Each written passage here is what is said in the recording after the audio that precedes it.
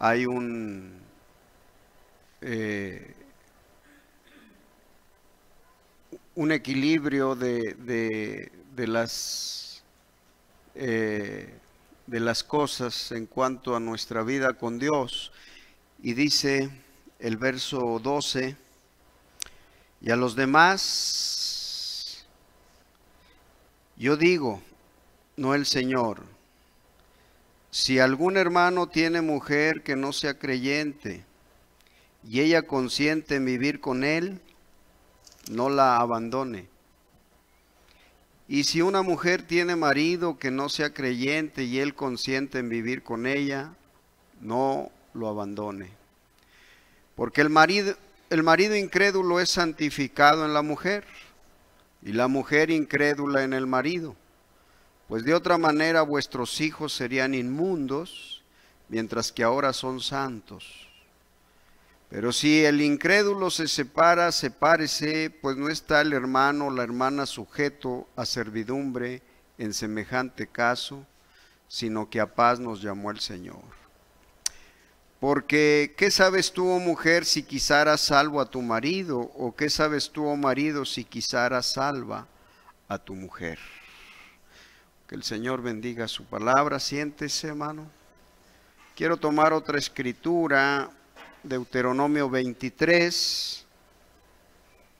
Deuteronomio 23, eh, capítulo 23 de Deuteronomio.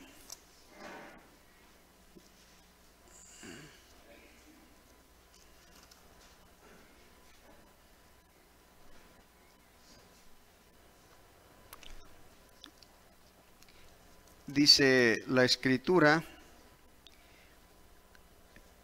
el verso 2, no entrará bastardo en la congregación de Jehová, ni hasta la décima generación no entrará en la congregación de Jehová.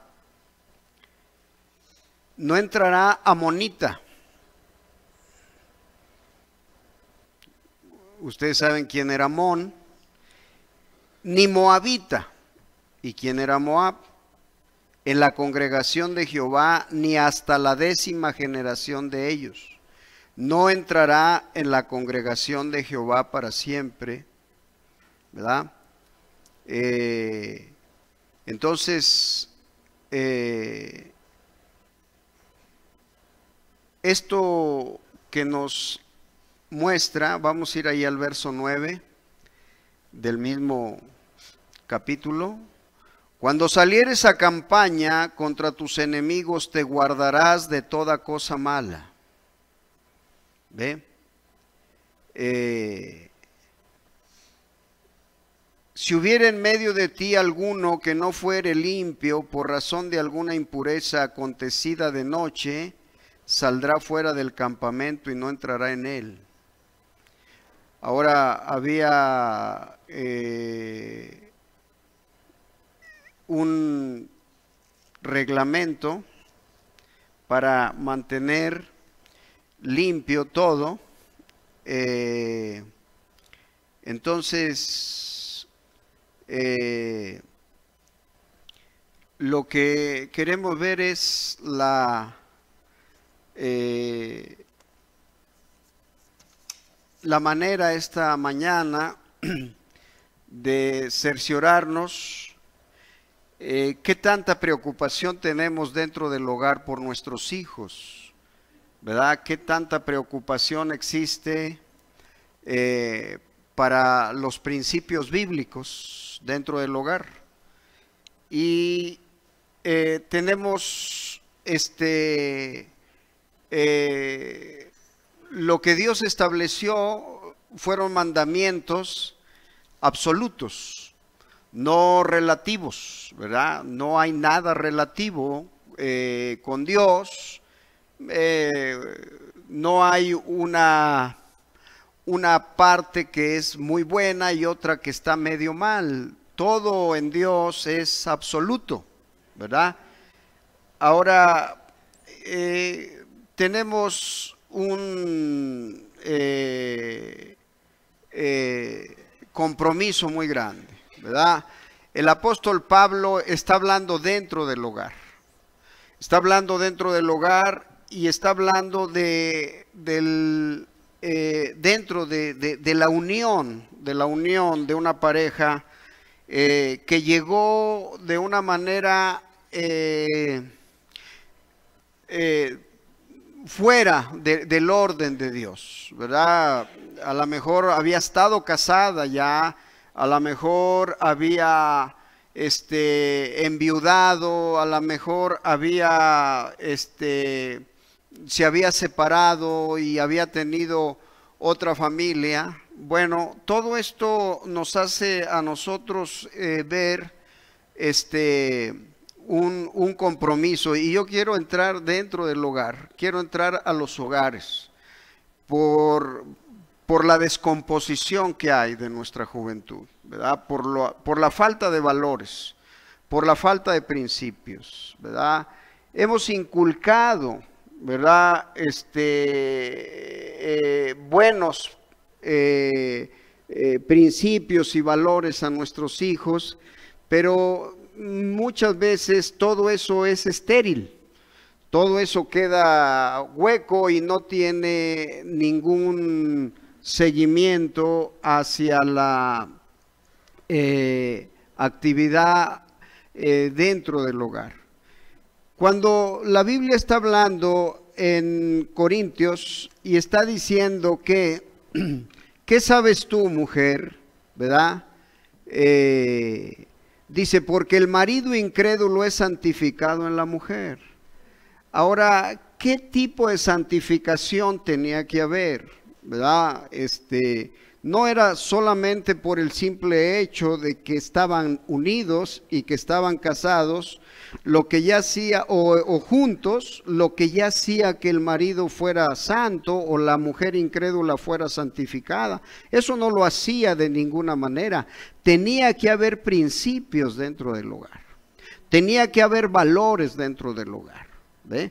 No podía eh, estar viviendo cualquier clase de vida y luego esperar que hubiera un matrimonio santo, un matrimonio correcto.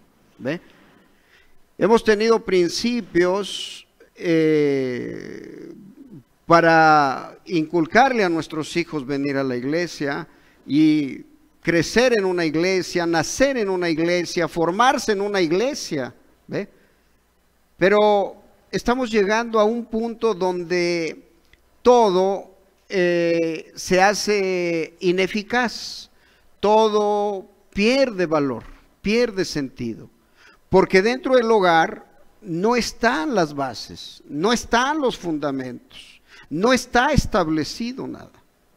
Solamente eh, tenemos un, formato, no, no tenemos un, un eh, una eh, forma absoluta de, tomar las cosas. ¿ve? Todo lo hacemos relativo. La, la, palabra la hacemos relativa. Si a ti te gusta así, lo hacemos. Si, si tú crees que te puedas acomodar así, entonces lo hacemos así. No hay nada absoluto. ¿ve? Y eso ha hecho que, que llevemos nuestros matrimonios muchas veces a una falta de santidad.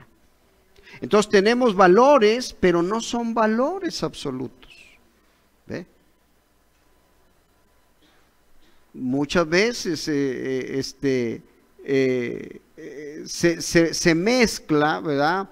Una descomposición familiar, pero está aunada a una asistencia a la iglesia. ¿Ve? Entonces es ineficaz todo. ¿Ve? ¿Por qué? Porque no hay esa, e, esa congruencia de las cosas. No estamos dándole fuerza a la palabra de Dios. ¿verdad? ¿Cuántas veces dentro del hogar se permiten muchas cosas? ¿Verdad? Usted le permite una televisión a sus hijos. Y usted dice, bueno, no tiene nada de malo. Eso es lo que usted cree, pero no es relativo. Porque vino un profeta y dijo, no la tenga no la tenga, eso es todo, ¿verdad? Ahora, si alguien viene y dice, bueno, a mí no me afecta, a usted no le va a afectar. Pero allí es donde la mujer puede santificar al marido. Allí es donde empiezan los valores. ¿Ve? Allí es donde se tiene que empezar a dar forma. Y hemos trabajado en base a, mucha, eh, eh, a mucho esfuerzo, mucho esfuerzo que, que se ha hecho para, para esto, ¿verdad? Yo estoy viendo en el borde de la desesperación muchos matrimonios, muchas familias, hogares. Están en el borde de, de, límite, de, de, ya no venir, de ya no seguir, de ya no caminar. ¿Por qué? Y cuando digo muchas, pues son más de dos o tres, ¿verdad? Este, eh, ¿Por qué, hermano? porque se pensó que, se podía, como hablábamos hace poco de la música, pensábamos que tenía, podíamos tener cualquier clase de música y santificar el hogar, ¿verdad?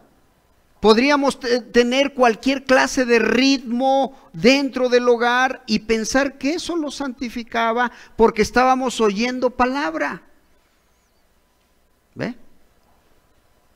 Pero el mismo efecto que, hacía este, eh, eh, en, un, en, una condición de, de, baile, de, eh, la hacía, lo hace dentro del hogar. ¿Ve? Mueve ahora, ¿quién tiene esos valores? ¿Dónde están esos valores? No están. Se fueron. ¿Ve? Por eso espíritus no se fueron de los hogares.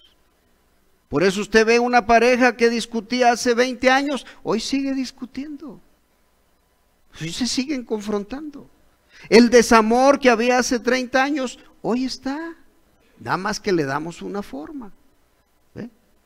La falta de respeto que había antes. Antes había palabras malsonantes, ahora hay de otro tipo de palabras. Pero ahí está. Y entonces los hogares están e, en una condición de falta de santidad. De falta de santidad. Y decimos que sin santidad nadie verá al Señor. ¿Verdad? Entonces no hay temor, hermano. ¿Quién va a poner en orden esto?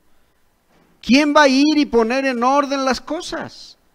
Bueno, la mujer creyente dice, ¿qué sabes tú, mujer? Si ordenas a, tu marido, ¿verdad? ¿O qué sabes tú, marido, si haces o ganas a tu mujer? ¿Verdad? Pero en base a principios. Yo le he dicho a mucha gente, un día usted va a perder el marido y va a perder a Dios. Y ha pasado, ha pasado, ha sucedido, ¿verdad? Entonces, tenemos eh, todo esto, ¿no? Eh, le digo, yo tengo casos que, que me, me, me, toca confrontar, ¿no? Me toca confrontar, ¿verdad? E, este, que, que tengo que analizar detenidamente, detalladamente, ¿verdad? Porque eh, estamos ahí, pero a veces pensamos que, que, que, es la asistencia a la iglesia lo que nos cubre, lo que nos protege, y eso no es, es la obediencia, es la obediencia a la palabra. Pero ¿quién obedece? Aquí estamos, ¿verdad? Ahorita quiero darle unas estadísticas. En el capítulo 23 de Deuteronomio, el versículo 2, no enseña que una persona que es nacida fuera del matrimonio no puede ser salva. ¿Ve? Fíjese esto. Dice que Dios visitará la iniquidad de los padres sobre los hijos hasta la tercera y cuarta generación. Explique lo que eso significa. ¿Ve? Le están preguntando, es una pregunta.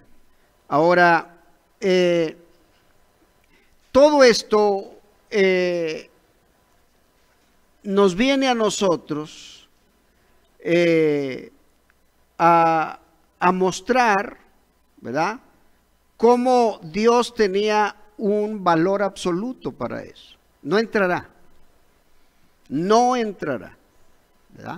Ahora, no importaba cuán buen propósito había en la octava generación, en la novena generación. Decía, hasta en la décima generación. Era absoluto, hermano. Esto era absoluto.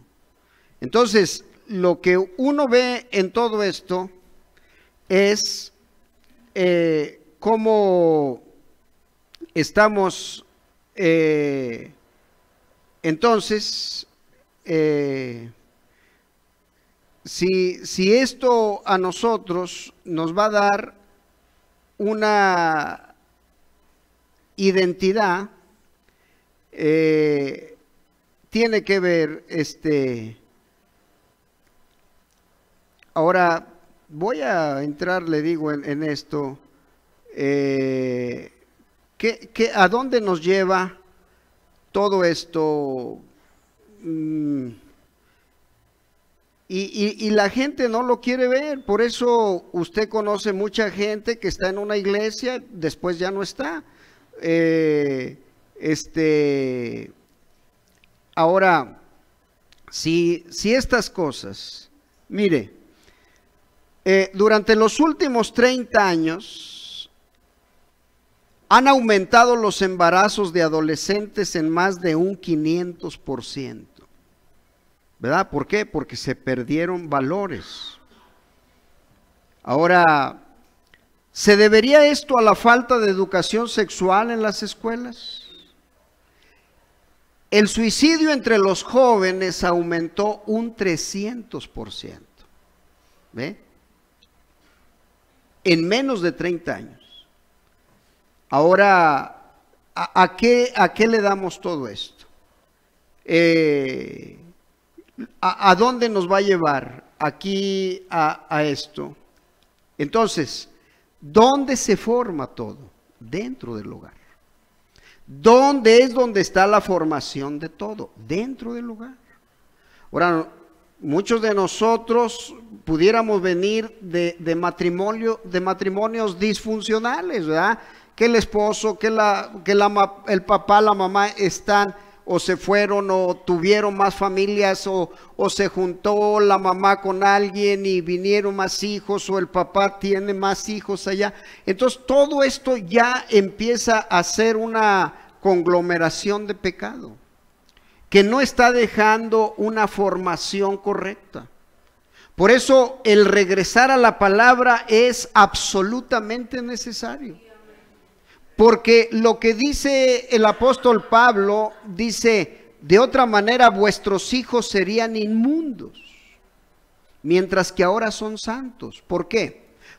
¿Por qué es lo que hace a, a ese matrimonio santo, ese hogar santo o esos hijos santos? ¿Qué?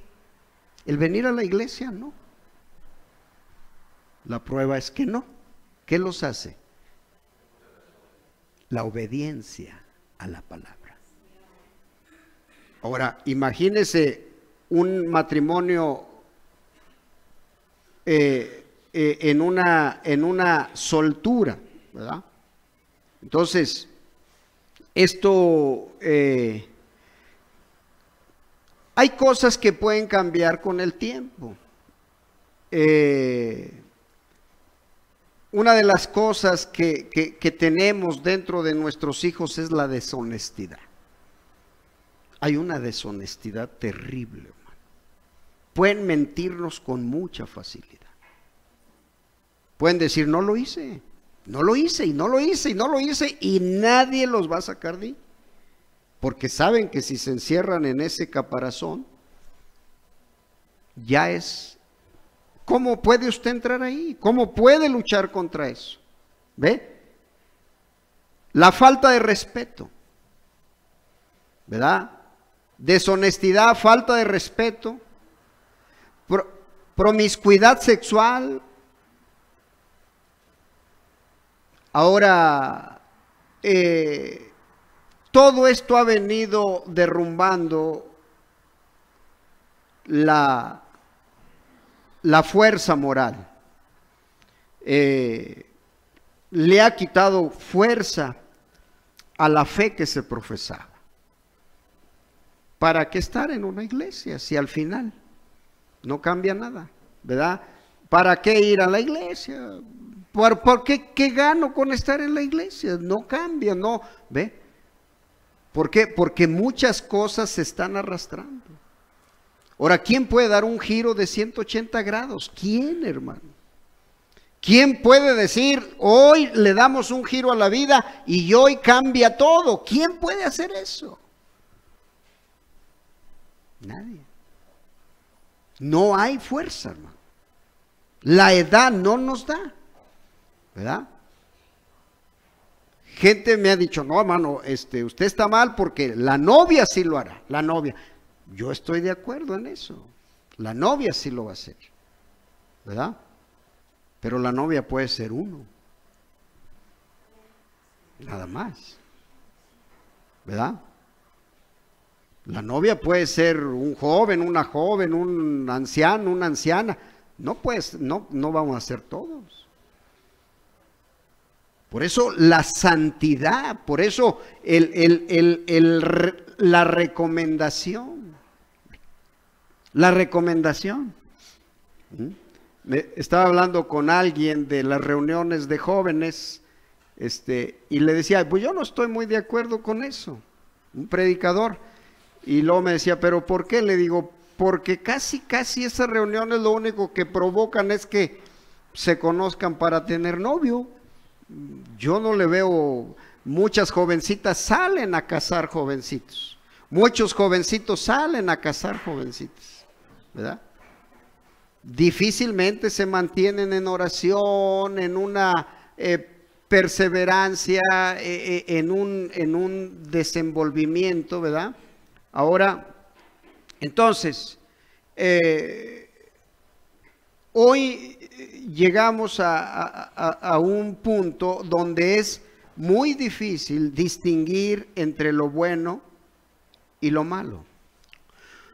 Hubo un tiempo en que los niños se criaban en un entorno que les comunicaba normas absolutas para el comportamiento. Ciertas cosas estaban bien y ciertas cosas estaban mal.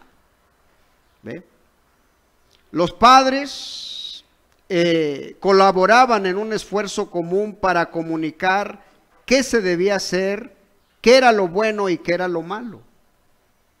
Y en una época como la que nosotros tenemos en general, hay un descuido total dentro de los hogares. Total. Pues porque el papá no está, porque la mamá está ocupada, porque no me interesa, porque traen sus propios problemas, traen sus propios eh, desencuentros consigo mismo. Entonces, ahora ¿Qué, tenemos que hacer, hermano? ¿Qué podemos cambiar? Aquí dice, si traemos un matrimonio este, en una condición que no llegó bien desde el principio, donde el marido cree y la mujer no, o la mujer cree y el hombre no, tienen que tener cuidado, hermano, porque los hijos están en un peligro terrible de ser inmundos de, tener una, una, falta de apego a los principios. Ahora, eh, cambió todo eso, cambió, ¿verdad? En un periodo de, yo estoy hablando más o menos de los años 60 se empezó a cambiar esto. Se empezaron a perder las normas, se empezaron a, a cambiar las reglas. Usted le podía decir a un joven, a las 10 es la hora de estar aquí, hijo. Eso cambió. ¿Verdad? Se fue a las 11, a las 12, se fue toda la mañana, toda la noche, se fue hasta el otro día. Se fue perdiendo, perdiendo, perdiendo y todo eso se perdió en el hogar. ¿Ve? Ahora, eh, entonces, ¿qué es el, el, el, lo que ha formado a nuestra juventud? Si te hace sentir bien, hazlo. Si eso te hace sentir bien, hazlo, no hay problema. ¿Ve? No es qué tanto es bueno y qué tanto es malo.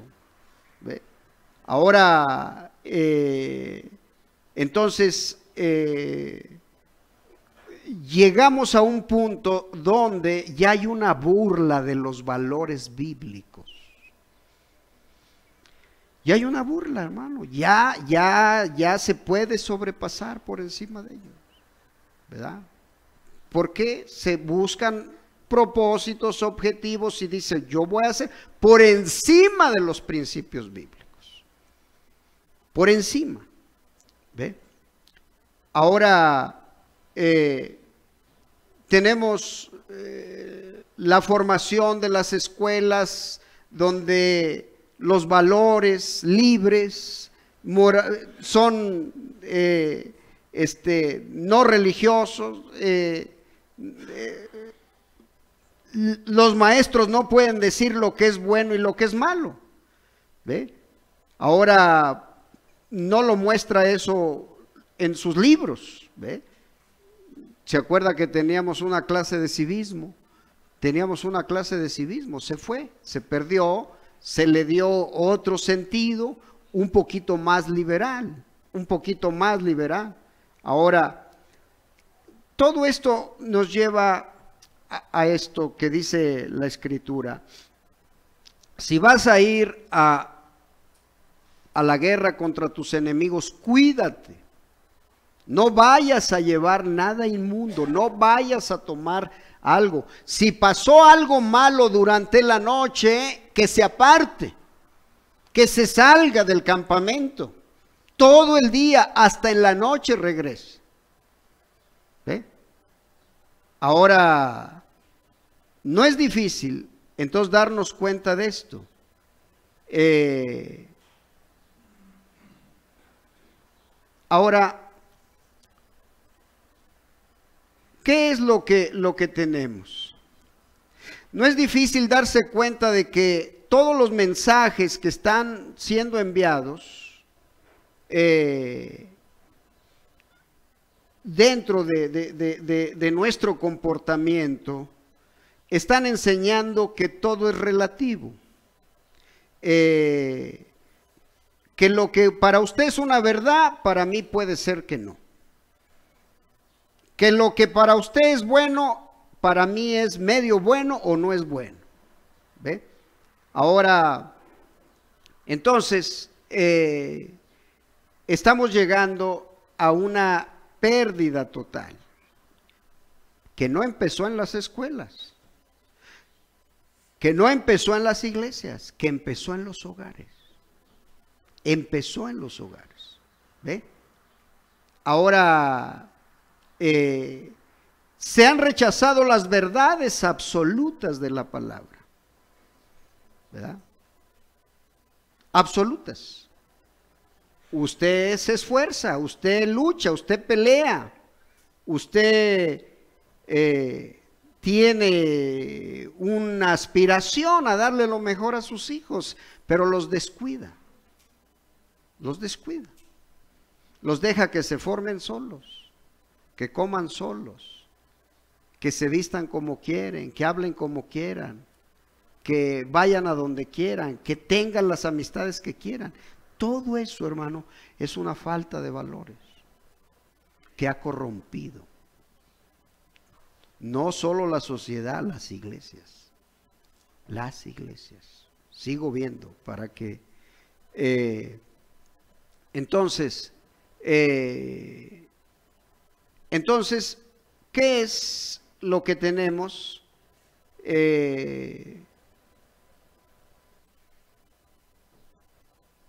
dentro de las iglesias, muchos de nuestros jóvenes no saben lo que es una verdad absoluta.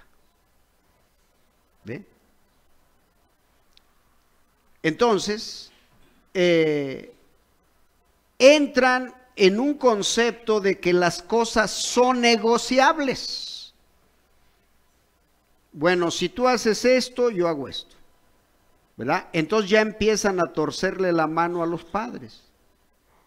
Ahora, y entonces llegamos a un punto, ¿qué es bueno y qué es malo? ¿Cómo vamos a santificar un hogar? ¿Ve? Eh, esto ahora, eh, cuando usted dice, bueno, esto a mí me parece mal, pero que cada uno decida por sí mismo si está mal para él, no podemos obligar a nadie a creer lo, de la manera que nosotros creemos. ¿Ve? Entonces, esta decisión personal no la buscó Dios desde el principio. Dios no dijo, ¿qué les parece? ¿Cómo ven? ¿Qué les gustaría? ¿De qué forma creen que se pueda llevar mejor? No, Él dio verdades absolutas. Dio verdades totales. ¿Verdad? Ahora, esto nos va mostrando a nosotros, le digo, eh, eh, entonces, eh, ya, ya casi no estamos afuera, ahora estamos adentro de la iglesia. ¿verdad? Ya estamos adentro de la iglesia. Ya tenemos que corregir algo de la pareja, el matrimonio, o, los padres, o, o, el hombre y la mujer. Tienen que ver y decir, ¿qué está mal? ¿Qué está mal? ¿Qué tenemos que arreglar? Pero si usted tiene adolescentes, ya no lo van a dejar. Ya se perdió. Ahora, ¿qué dice la Biblia contra un joven reincidente? Contra un hijo que una vez y luego otra vez y luego otra vez y luego otra vez. ¿Qué dice? Sácalo. Apedréalo, mátalo. Usted dice, hoy no se puede, correcto, hoy no se puede. No, no, no, no podemos eh, aplicar eso, ¿verdad? Pero, pero ¿qué de las verdades absolutas? Ahora, eh, se libran grandes batallas emocionales, intelectuales, espirituales, ¿ve? Eh, entonces, eh, mucha gente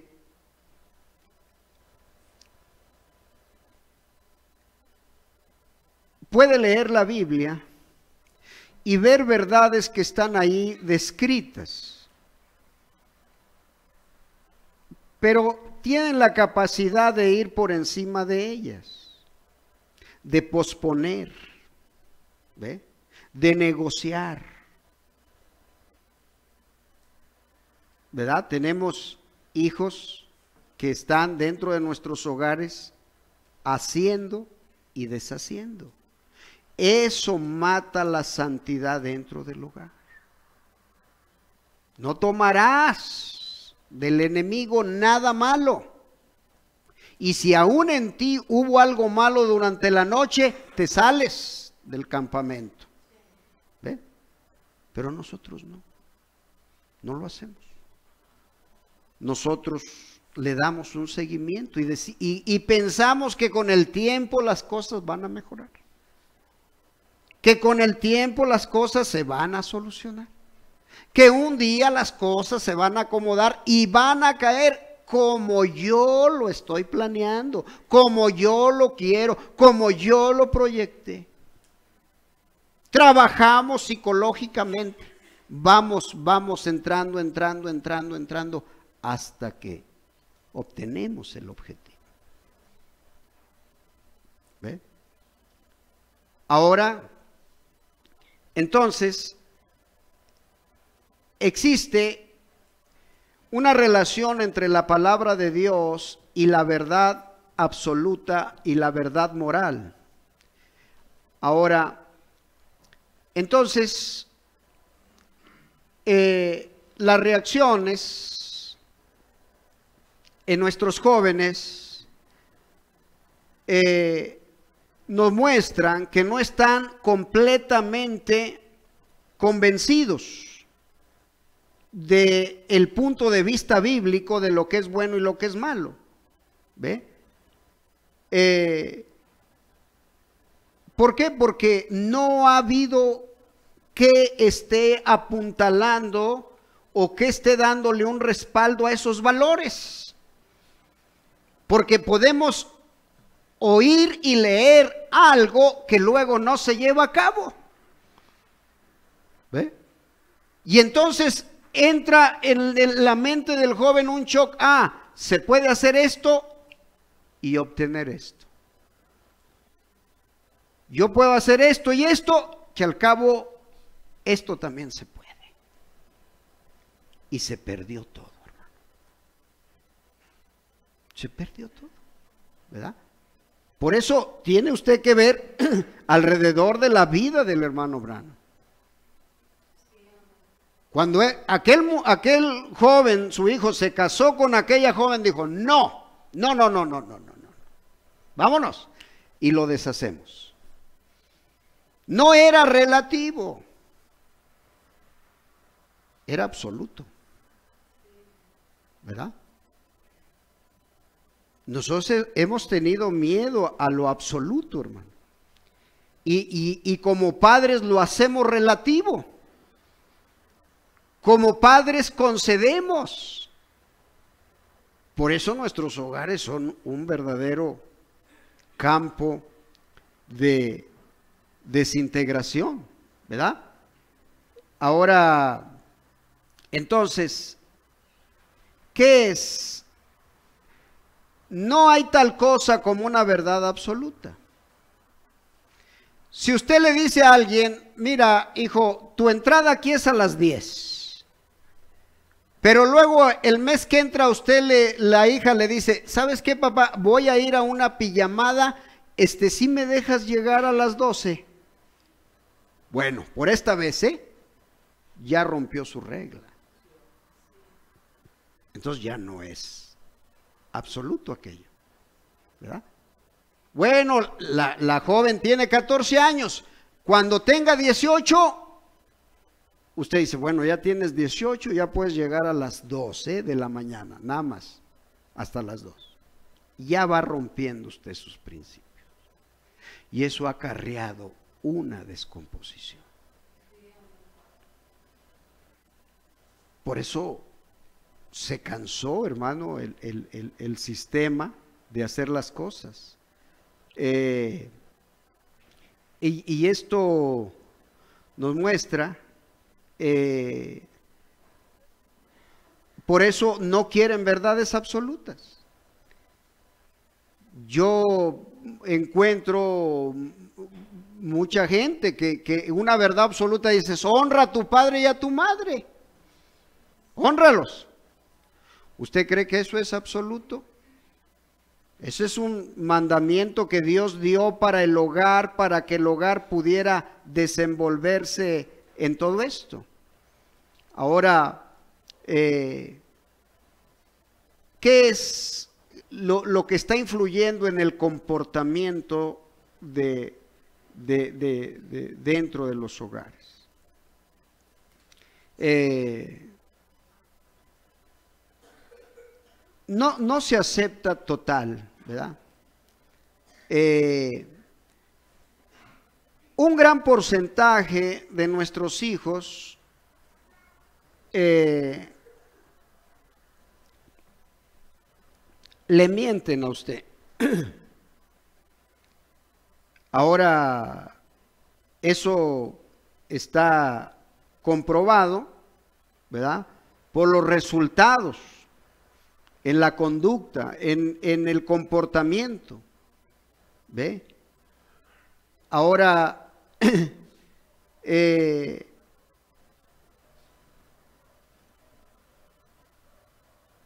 casi un 80% de nuestros jóvenes con internet ve programas no aptos para una mente cristiana. Un 90% escucha música no apta para cristianos.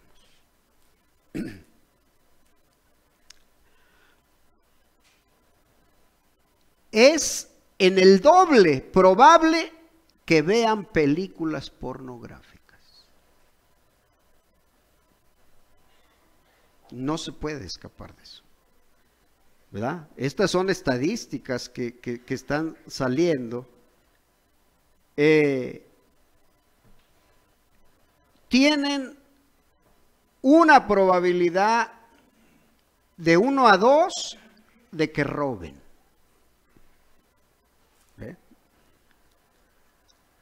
Eh, tienen más probabilidades de entrar en depresión. En depresión. ¿Por qué? Porque al no estarse tomando la palabra como un absoluto, hermano, se decepciona uno de la vida. Por eso eh, encontramos una dependencia total de, los hijos. ¿ve? Usted puede tener hijos de 25, 30 años que todavía están dependiendo qué es bueno y qué es malo. ¿Lo hago no lo hago? Cuando ya debiera de conocer verdades completas, totales. ¿Ve? Bueno, yo no puedo estar con mis hijos. Oye, ¿qué vas a hacer este día? Eh? Cuidado, cuidado, no vais a robar. No puedo hacer eso, hermano. Ellos tienen que tener principios. ¿Ve? Ahora, entonces, si no se está aceptando la palabra como tal, como algo absoluto, entonces, eh, le digo, es uno a dos que se sientan decepcionados. Es más probable que entren en una depresión y en un enojo contra la vida. Es uno a dos más probable que carezcan de propósitos. Usted va a encontrar en ese tipo de hijos personas resentidas. Y un día le van a decir por su culpa. Usted, ustedes, ¿ve? Entonces, eh, todo esto, hermano, ¿qué es lo que hace la mujer creyente de decir, ¿sabes qué? Aquí está una línea de conducta. Esta es la línea de conducta. Tú no vas a la iglesia, pero esta es la línea de conducta. Esto es lo único que nos va a santificar. El marido creyente y la mujer, mira, nos vamos a ir por esta línea. Esto es lo que nos va a ayudar. Si no queremos tener un hijo en la penitenciaría o en un manicomio o en un hospital, más vale que pongamos a trabajar principios bíblicos dentro del lugar. ¿Verdad? A, veces hemos pensado que es mágico el venir a la iglesia. A veces decimos, mágicamente se me va a ir esto y se va a deshacer cuando yo sienta que, bueno, cuando ya yo, yo sé que tengo un control de mí mismo y cuando yo diga ya es ya. No. Ahora que veíamos lo del hermano Jorge Smith, ¿verdad? Eh, hay una descomposición, hermano. Eh, todo esto lo, está llevando a, a, una, a una manera de no controlarse. ¿verdad? Hoy casi es imprescindible un teléfono. Usted dice, tengo que tenerlo, tengo que tenerlo y tengo que tenerlo. ¿Verdad? Pero usted no sabe lo que está alrededor de eso. Ahora, dice, si su hijo está de novio con una muchacha católica, cuando ellos van a casarse, ellos tienen que prometer de crear a los hijos católicos, ¿ve? O viceversa, ¿ven? Eso es para romper el poder del otro. Pero ¿qué es eso? La Biblia reclama que toda la cosa o sea, todo lo, lo, que se ha formado socialmente es una prostitución. Ahora, ¿qué van a hacer ustedes? Dice el profeta. ¿Qué van a hacer ustedes? Correcto. ¿Ve? Usted vea cómo los pecados de los padres son visitados. ¿Ve? Fuimos a Deuteronomio y vimos que un hijo ilegítimo, un hijo bastardo, ni siquiera podía entrar en la congregación del Señor por esas generaciones. Diez. ¿Ve? Ahora, eso era bajo la ley. Pero ahora Cristo vino a magnificar la ley. ¿Ve? ¿Cuánto mucho más ahora? Ahora Usted vea lo que hizo Moab. ¿Por qué no podía entrar un moabita?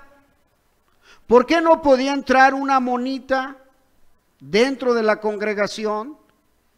Porque ellos estaban mezclados con el mundo.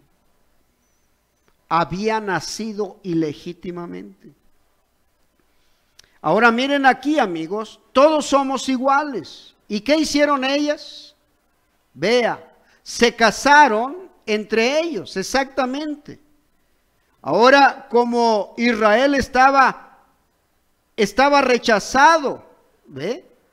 Ahora vinieron las fornicaciones espirituales, las fornicaciones literales, y Dios rechazó allí, de allí en adelante, aún esos hijos, los cuales llegaron a ser los samaritanos, ¿ve? ¿Qué hizo ella? Ella se corrompió, ¿ve? Ahora yo estaba leyendo en una escritura en donde un hijo ilegítimo no entraría en la congregación del Señor por 14 generaciones. ¿Cuántos saben eso? Correcto. Deuteronomio 23, un hijo ilegítimo. Si una mujer era hallada en el campo, eso es fuera de la protección del hombre, y un hombre forza a esa mujer, eh, ese hombre tiene que casarse con ella. Y sin importar si ella llegara a ser una prostituta, él tiene que vivir hasta que ella eh, muera. Y si esta mujer se casa con él pretendiendo que ella es una virgen y ella no lo era, entonces ella podía ser matada por ello. Y si un hombre y una mujer, oh hermano, mire, estoy citando Deuteronomio 22 y 23, pero del 22, ¿qué está? Dice un hombre. Ahora, que estando casado, ellos traían a luz un hijo el ilegítimo, él no entraría en la congregación del Señor por 14 generaciones y 40 años es una, una generación, pasaban 400 años antes de que esa simiente saliera de Israel. Oh, vea usted eso, ¿cómo espera usted pisotear la sangre santa del Señor Jesús solamente porque usted pertenece a una cierta denominación y espera entrar? Usted no va a venir a los terrenos de Dios. O usted entra tomándolo a Él como un absoluto o usted no viene. ¿Ve? Estoy leyendo de por qué no somos una denominación. ¿Ve? Ahora, eh, ve, vea todo esto, hermano. Todo está empezando en el hogar. Tenemos, tenemos muerte en el hogar. Estamos dejando palabra en el aire.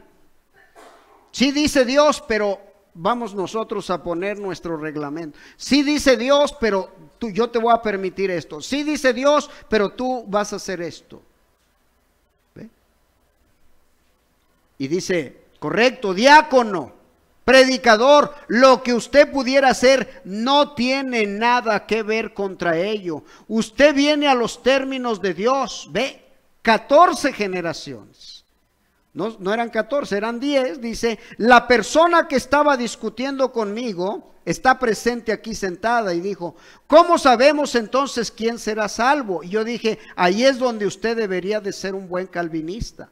Su nombre fue puesto en el libro antes de la fundación del mundo. Dios toma ese torrente sanguíneo, ¿ve? Eso depende de él, ¿ven? Bueno, eso es lo que tiene. Escuchen, jóvenes, hoy. Yo no sé si ustedes vienen a esta iglesia o a donde ustedes vayan. Ustedes, muchachos jóvenes y muchachas, se dan cuenta las cosas que ustedes están haciendo. Si hay otra generación que sus hijos serán juzgados por lo que ustedes están haciendo hoy. Eso demanda un respeto y una decencia. Oh, hermano. Entonces, eh, ¿qué, tiene todo esto, hermano? Una, una falta de descuido. ¿Ve? Eh, ahora, eh, si todo esto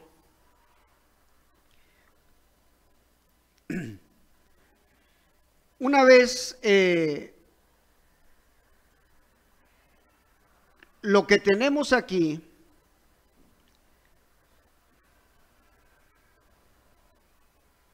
si, si usted no tiene la visión adecuada Eh,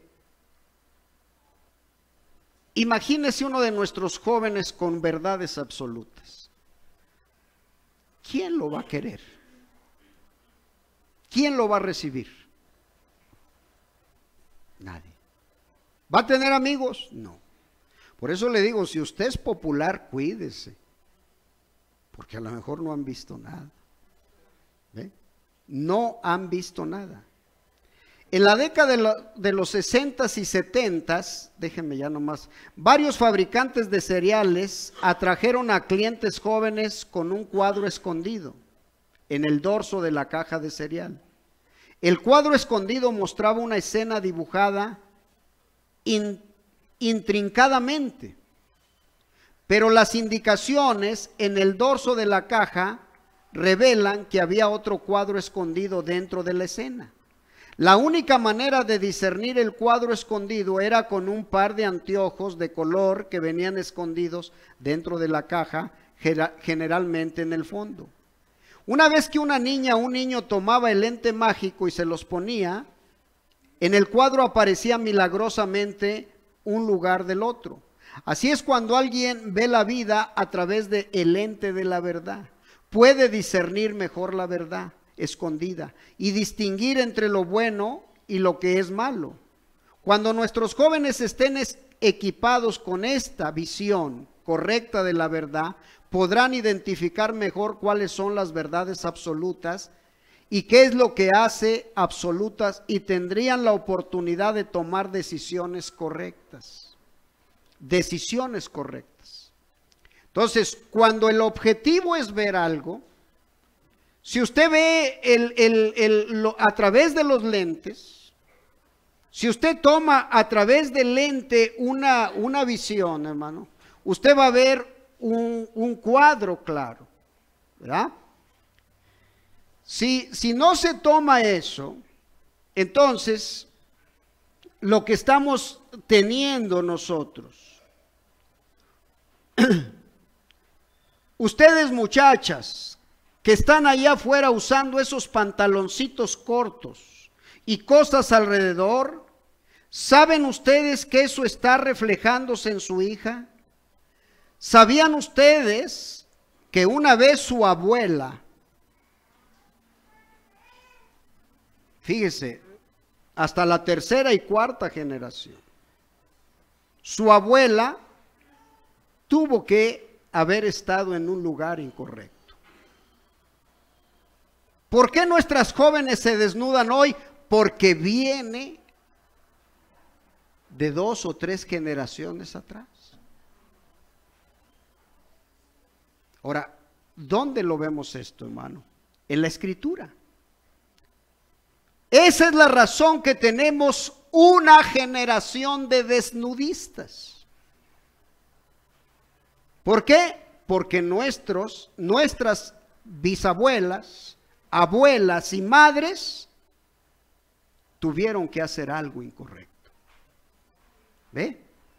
Ahora imagínense los hijos de este grupo de desnudistas. Dios dijo que Él visitaría la iniquidad de los padres sobre los hijos y los hijos de ellos por tres o cuatro generaciones. Se da cuenta, hermano, cada vez que usted hace lo correcto, eso visitará a sus hijos. Miren, tenemos todo esto y, está en la escritura. ¿Ve? Usted sabe lo que hizo eh, Abraham cuando le pagó los diezmos a Melquisedec. Eso repercutió en Leví. ¿Ve? Por eso, dentro del hogar, si no hay principios, hermano, si no hay una solidez, de nada le sirve estar aquí. Si usted no va a traer esta palabra a una formación total, yo le digo, no pierda el tiempo. No lo pierda. Si no va a traer verdades absolutas a su hogar, ¿qué caso tiene? ¿Verdad? ¿Para qué estar en esto? Si Dios está demandando sin santidad, nadie verá al Señor. Entonces el hogar tiene que ser santo. La esposa incrédula puede hacer que el marido sea santificado en obediencia a los principios. El marido creyente puede hacer a la mujer santificada si se mantienen en los principios, en una solidez. ¿Ve? Entonces, oiga, un 500%.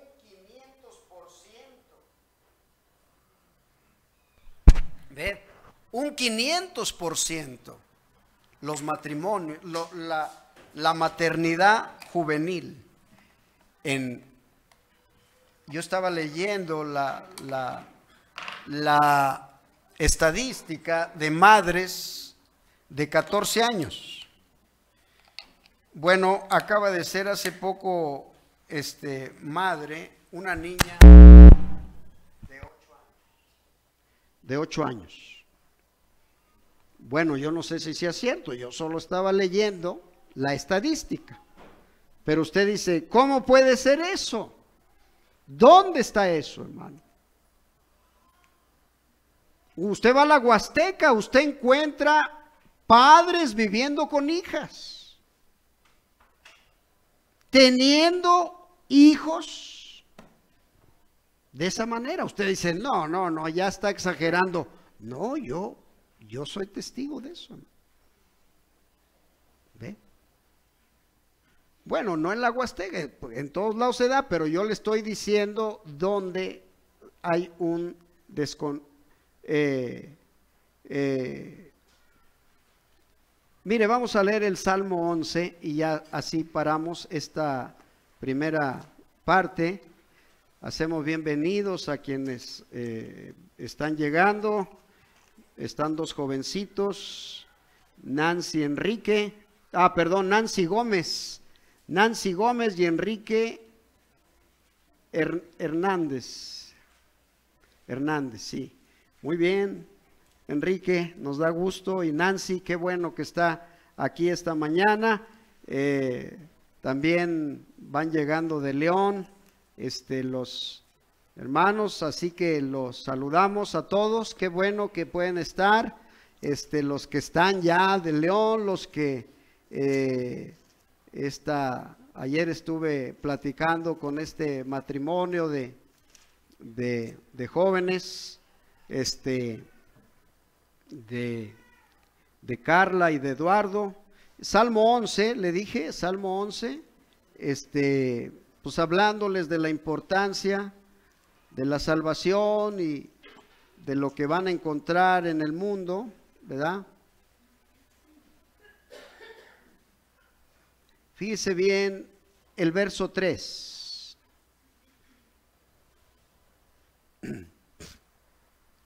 Si fueren destruidos los fundamentos, ¿qué ha de hacer el justo? ¿Verdad? Entonces, eh, eh, tenemos esta eh, forma, hermano. Mire, yo, yo voy entendiendo por qué es una batalla. Es una batalla muy grande, ¿verdad? Pero a mí me, me llama la atención esto que dice el hermano. Escuchen, jóvenes. Yo no sé si ustedes vienen a esta iglesia o a donde ustedes vayan. Ustedes muchachos y muchachos, dense cuenta las cosas que ustedes están haciendo. Si hay otra generación que sus hijos vengan, ellos serán juzgados por lo que ustedes están haciendo hoy. ¿Ve? ¿No tienen ustedes respeto y decencia? Ustedes muchachas que están ahí afuera usando pantaloncitos cortos y cosas alrededor, ¿saben ustedes que eso refleja, eso va a reflejarse en su hija?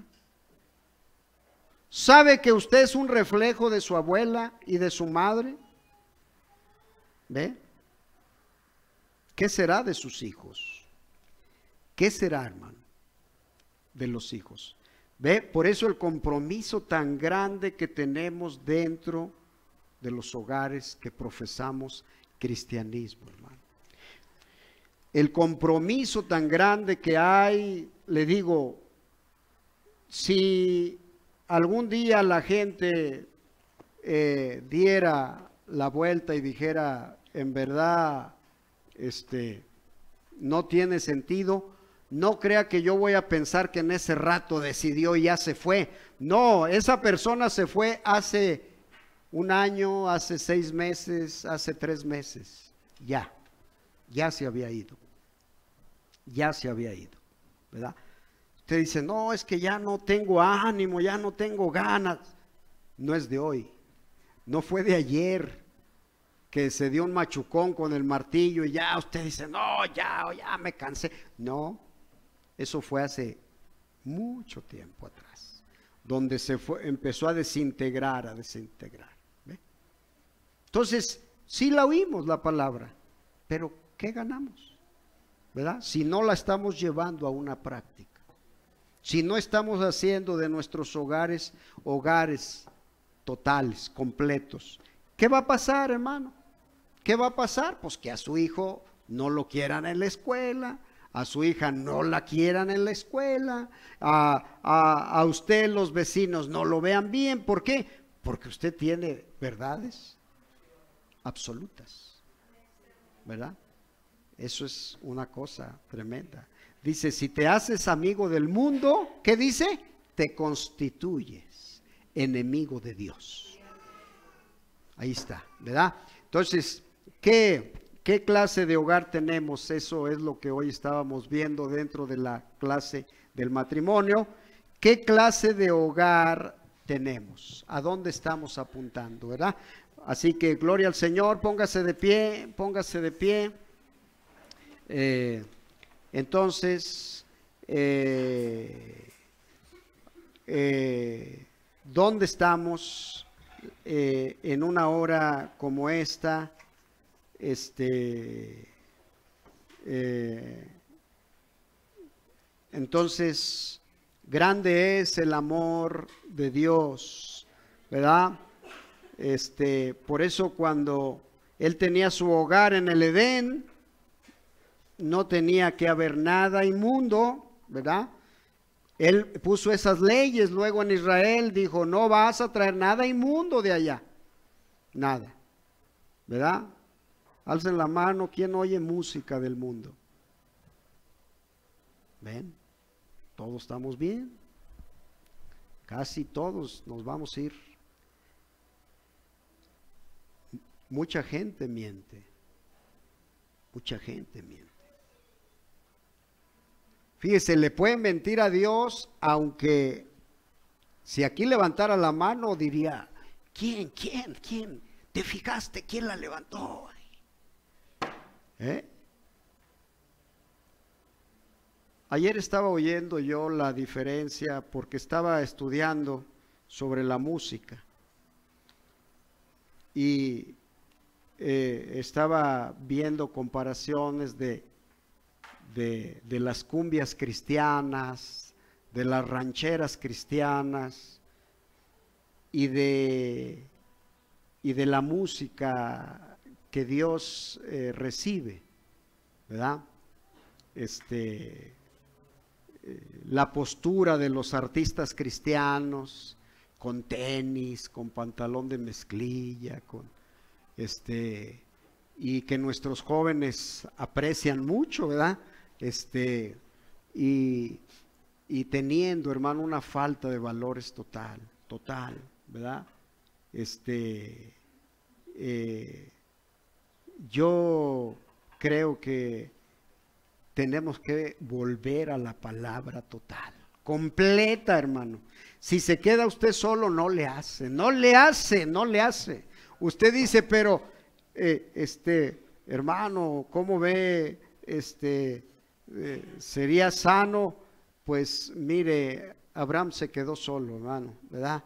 Como dice el canto, grande es el amor de Dios. Y así estoy dejando este lugar. Dios los bendiga. Padre, gracias esta mañana que estamos aquí en la búsqueda de algo, Señor, que nos dé forma de vivir. Señor, es tan difícil, Señor, tan difícil en esta edad llevar a al hogar la fuerza de la palabra, Porque hay tantas mezclas, tantas mezclas, Hay tantos distractores. Señor, nuestros jóvenes se lamentan no tener cosas que los jóvenes del mundo tienen. Están tristes, se deprimen Uh, Señor, casi se volverían locos si diéramos un giro de 180 grados. Difícilmente caminarían. Muchos matrimonios se preguntan hoy por qué no tienen hogares, por qué no tienen paz, por qué no tienen descanso. Pero es que hace 10 años, 5 años, un año, dejaron entrar cosas. Entraron cosas. Que luego se volvieron verdades relativas, verdades a medias, verdades negociables. Si tú haces, yo hago y si tú das, yo doy. Llegó el momento en que los padres le piden permiso a los hijos. Señor, ¿dónde estamos? La Biblia dice que esta iba a ser una generación que a su madre no iban a bendecir. Señor, ¿cuántos maldicen a sus padres?